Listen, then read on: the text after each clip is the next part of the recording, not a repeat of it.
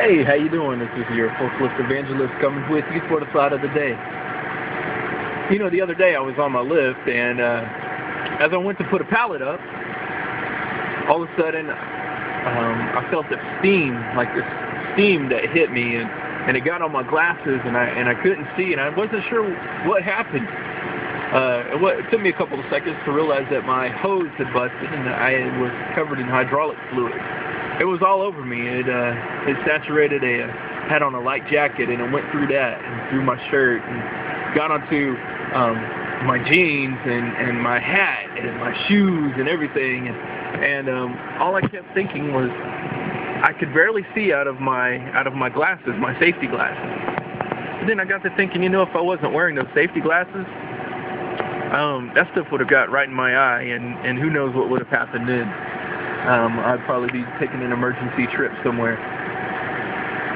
You know, there's rules that are in place, such as wearing safety glasses, that um, are there specifically for a reason.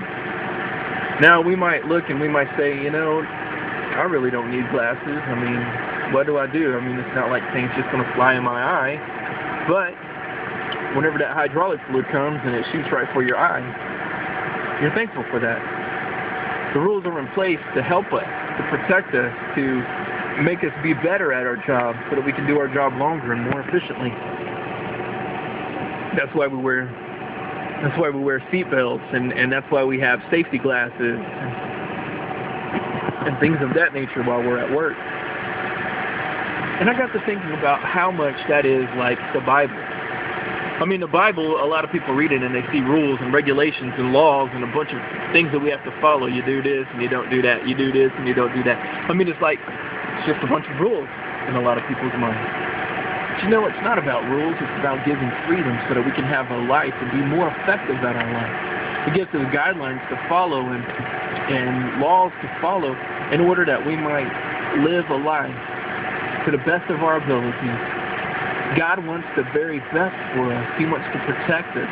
He wants us to, to lead us in the right way. And just like these safety glasses, even though at times it might seem strange to have to wear them while you're riding around on a forklift, you have those instances where they really protect you and you say, oh, now I know why that rule is in place. Well, it's just like that with God's Word. His Word is there to help you, to, to help lead you and guide you in the right direction so that you can be more effective in your life and in your ministry and in your walk and in your relationships. That's what it's there for. So we thank God for his rules. We thank him for his guidelines and for the way that he is always looking out for our best interests. Hey, this is your forklift evangelist uh, for today. Have a great day.